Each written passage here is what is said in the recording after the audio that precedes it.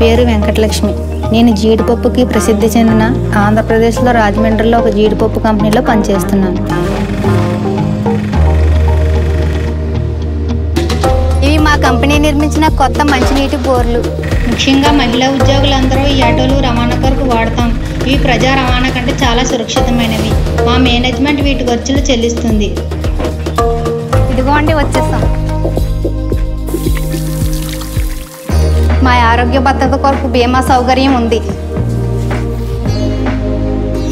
చాలా ఫ్యాక్టరీల్లో సీజన్ అయ్యాక మూసివేస్తారు. కానీ మా కంపెనీలో సంవత్సరం అంతా ఆదాయ భద్రత ఉంటుంది. హాయ్. నేను ఆరోగ్యకరమైన మరియు సురక్షితమైన వాతావరణంలో పనిచేస్తున్నాను. మాకు న్యాయపరమైన జీతాలు మరియు ఇతర సౌకర్యాలు కల్పిస్తారు. నేను ఈ ఫ్యాక్టరీలో పనిచేయడం వల్ల నాకు చాలా గర్వంగా ఉంది.